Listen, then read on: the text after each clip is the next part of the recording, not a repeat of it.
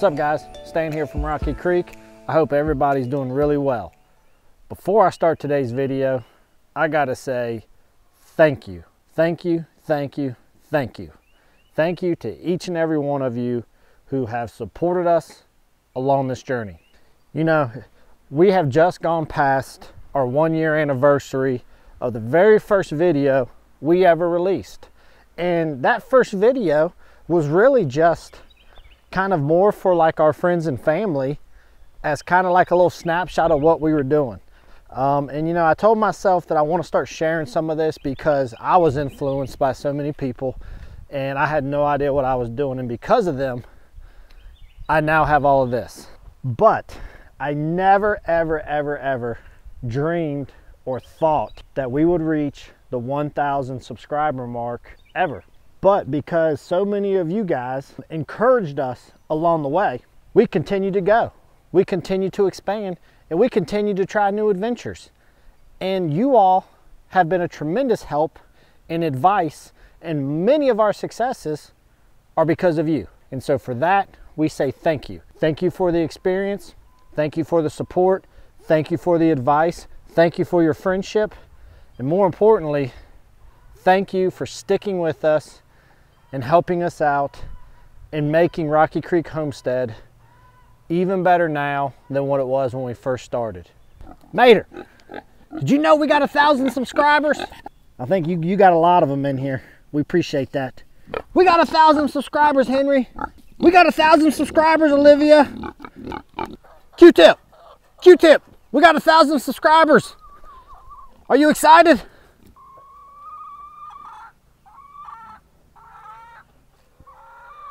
Starfire, we got a thousand subscribers. Hey Scotty, we got a thousand subscribers, buddy. Madison, stop, I got, I got something important to tell you. I got something important. Hey, we got a thousand subscribers. Hey guys, but on a serious note, no, really, we do really thank you. We really appreciate it. Um, you know, it took one year and six days to get to that 1,000 subscriber mark. It's been a lot of hard work. It's been a lot of you know, just countless hours of trying to get in some content for you. It's been a lot more work than what I ever anticipated. And there were moments where I thought, this might be too much. I don't know if I can manage it. But your encouragement kept me going. So with that being said, let's get into today's content because it has been a week of just like a whole lot going on this week.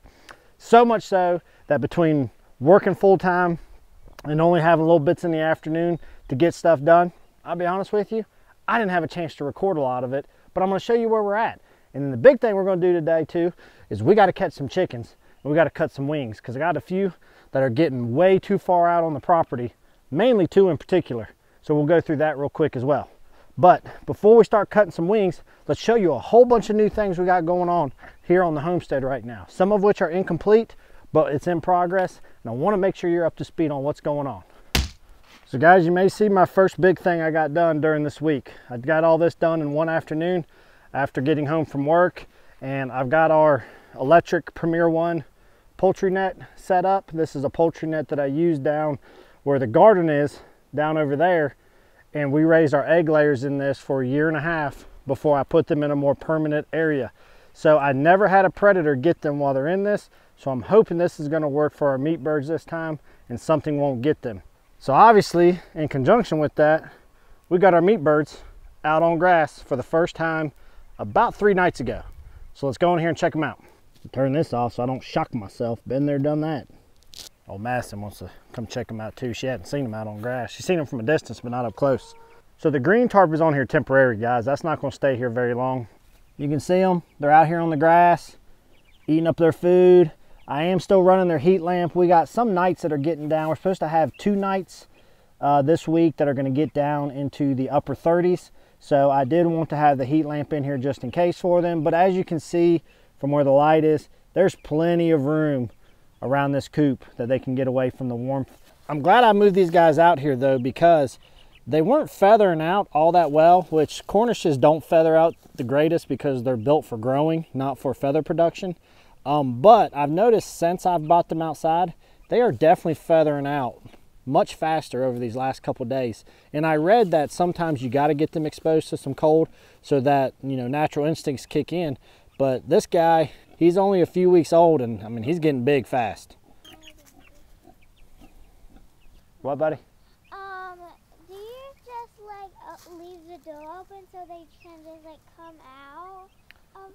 Yeah, so since I'm not gonna try to move them all over the place, since we're using the electric netting, I'm trying to get them just to come out here and forage around. Now, if they wear a lot of this grass out, then we'll move the whole fence and move them all together. But we're just gonna kind of let them go around and then at night, um, I'll close them up at that time. Okay. So guys, you can see we did move the water out here for, with that. We switched out for the Rent-A-Coop cups and it's working out great. And I've already had to fill this water up once. They got it down to about a quarter of the way, but you can see they've taken to it really, really well. No mess at all, and it's working out fantastic.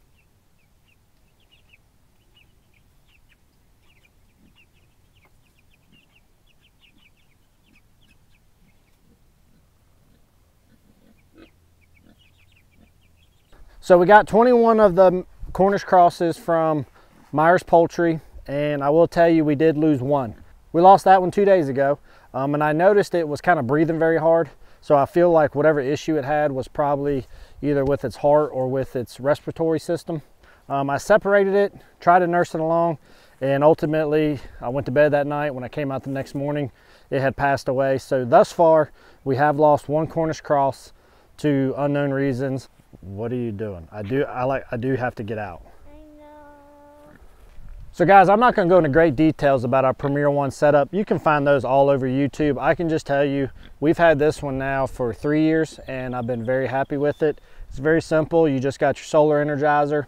You got a positive and negative line that runs off of that. And you're just gonna hook one end up, which I'm pretty sure the black is your negative, to a grounding rod, which I pounded in the ground. And then your positive will go right there to the actual fence itself. Big thing is you just got to watch for high weeds and grass that it doesn't mess up the current running through your fence. And if you take care of those things and you got enough sun, you're in business. Let's cut this back on. Mater, you like having your friends next door? You let bad things happen to the last crew. Keep an eye on them for me. All right, I'm sorry. I'm just kidding. All right, we appreciate it. Be good. Now, as we head to show you the other thing that we've had go on this week, you may have noticed that that one gray broiler was not in there with those meat chickens. I came out one day and something actually attacked it during the day. Um, I went out that morning, fed, everything was fine. Sun came up and that was at about eight o'clock that morning. I came out at three o'clock that afternoon and once again, something dug a hole, same kind of hole as last time, got in there, but this time didn't take it. It had a deep wound at its wing area and it had died from that. So I still don't know what this predator is, but we're gonna hope that this electric netting is gonna take care of our problem. So yes, the very last gray broiler that we did have did get killed, same way as the others did, unfortunately. What in the world are you doing? I have no idea. These, these children. You can tell it's getting warm. They get outside, which I love them being in, but they get so crazy. So here's the reason why I had to get those guys outside about a week earlier than I really had thought I would. Number one, they smelled god awful, so we wanted to get them out for that reason as one. But then two, I got a complete shock, call from the post office that that second batch of gray broilers showed up. Myers Poultry, although the chickens have been extremely healthy, and I gave them kudos last time for giving me information when they shipped, it must be back and forth with them because this time, no notification other than a phone call from the post office while I was in the middle of my workday. But check them out. So, yep, got another round of the gray broilers. Everybody's doing healthy. We did lose just one chick two days after receiving them. Uh, but everybody else seems to be very healthy and doing very well. So they're just set up in here. We'll let these guys grow out and we'll get these guys on pasture as soon as they feather out. So what issue does that create? I need more room for chickens. So as you can see behind me, I had to start whipping together another chicken tractor. So this one isn't complete. I still need to run some wire across the top here. And then I'm gonna use a tarp to cover the whole top and half of the sides around the back half. Now I can't accept credit for this design. This is actually Lumnah Acres $30 chicken coop in 30 minutes. Now I don't know where he bought his materials from or if obviously material prices were cheaper back then because if you've been in the store lately, you'll about have a stroke when you see lumber pricing. But I will say this was extremely affordable. If I had to guess between everything I had to purchase, I probably actually have about 60 bucks in this coop. That's counting the screws and all. So it still is a super cheap coop to throw together, but for exactly the way he did it, it was very reasonably priced and it was very simple to build. I'll show you some of the cool features. So you got the flip up top right here, which makes easy access. And then I did do, he calls it his upgrades. I put the shelves in each corner, just like we have in our coop now. We have the one shelf, but I'm gonna do feed on one corner and the water on the other corner. All it's really made out of is fence pickets, some spindles, some treated spindles like you would use for a deck, and some chicken wire and some screws. And that's pretty much about it. So we'll run the wire right there, get the tarp on and I'll show you the final final outcome of that when it's all said and done and we'll probably do a little follow-up video on that and move it out on grass but I think this is going to work out really well for us so now this isn't a new thing but we'll give you a follow-up on those Ayam Cemanis because all four are doing very well but the more that they're growing the darker they're getting and I really like how they're looking let me grab one and show it to you see if my buddy Madison can hold it for me so I can show y'all It's heavy. It's tucked all right so check out this super cool Ayam Cemani. Madison is super excited about these guys. Are you squeezing the death out of it? No. So you can see here's the white toes that they were so bothered by that I got a smoking deal on. But they are definitely darkening up the bigger that they're getting. They're a very slender looking chicken, so I'm kind of curious to see how that works out, which what I did read says that they're more of a medium body chicken. So we're not gonna keep them out very long. I just wanna give y'all an update on this awesome looking Ayam Cemani chickens. Um, you can see nice, good, dark coloring. Um. So I'm excited as these guys keep growing and let you get to see a final result. So guys, the last update I got for you that all has been done since the last video, which we're talking less than a week, is we did get the chickens moved from outside of the pen to inside of the pen so the rest of the chickens can start to get more acclimated to them. You can see size-wise, these have grown plenty. And I think they're definitely to the size that they'll be able to hold their own just fine here in this coop. And they'll probably be fast enough that nobody's really gonna get to hurt them as long as they don't get pinned in somewhere. So we're gonna let them hang out here for about another day or two, and then we're gonna go ahead and integrate these guys in with the coop. That'll make life a lot easier. So guys, that's gonna wrap up about all the updates for this week. But now both of the main two chickens that I need to get, they're in the run right now, which will make it easier to catch them than if they're out here just running all over the property. So I'm gonna get that Premier One poultry hook. I'm gonna get my sidekick Madison, and we're gonna see if we can't wrangle these guys up so we can do some trimming. The only problem I do have is one of the ones that keeps getting out is one of the sapphire gems, which they pretty much look very much alike. So every sapphire gem might get cut, collateral damage, but I gotta get it done. All right, here's what we're gonna do though. I'll catch them, hand them to you, you hold them, and then I'll cut them. Okay. Then we can do that? Yeah. You freaked out last time we were doing this and was yelping like crazy. I need you to be calm, okay? And don't be eating all the chicken poop. That's disgusting. Yeah, she. Yeah, she's done that.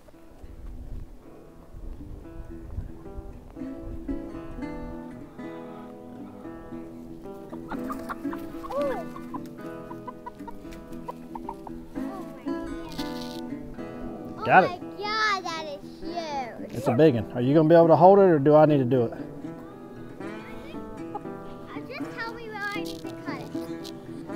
All right, it's gonna be a little hard to cut though, okay?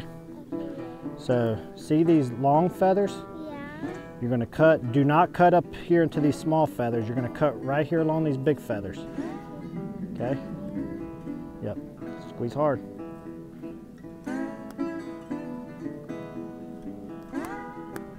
Here, you might need to hold the chicken. Here.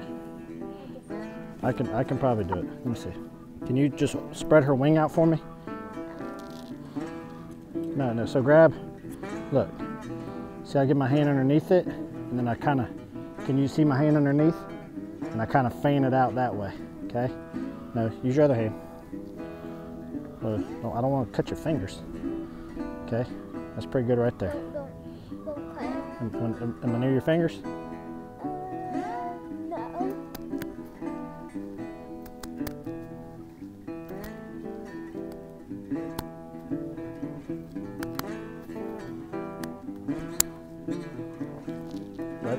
Her to you tight. There, so much easier. Okay? Look how much easier. Yeah, she just pooped. It's because she's stressed. We're stressing her out. All right. her down. All right.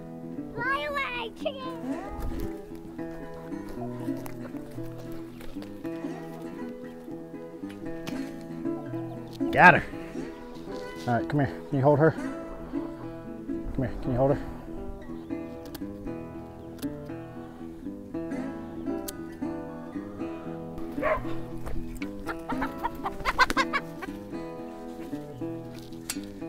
Got her. All right. All right, for those that don't know what's going on here, when you span their feathers out, you'll see you have these small feathers and then it starts the big feathers. You do not cut into these small feathers. We only cut across the big ones like so Why don't we cut the little one? because those can hurt them. These are their actual flight feathers, the big ones, so that's why we cut those. And it's key important that you use a sharp pair of scissors. That way you don't put pressure on the quicks too much.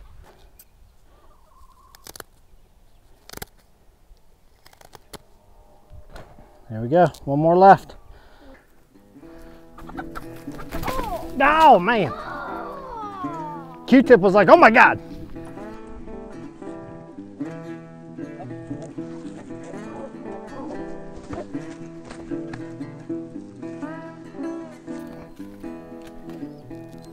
This is definitely easier with one more person helping.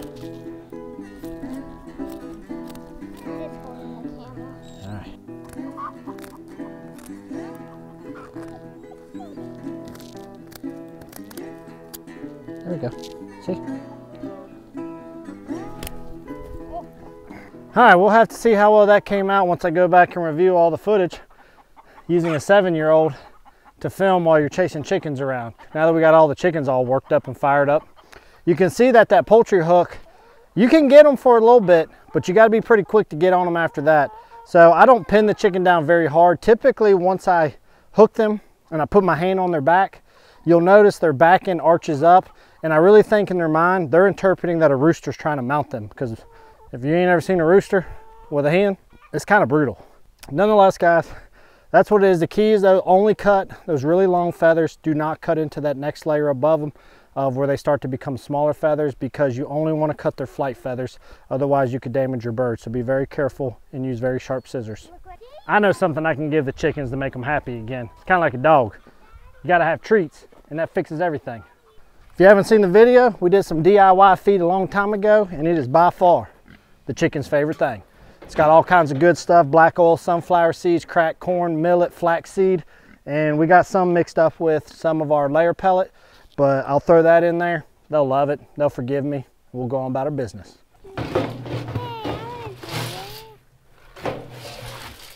Here, go take that in there and toss it on the ground. Well, this is my way of saying I'm sorry, but it was needed.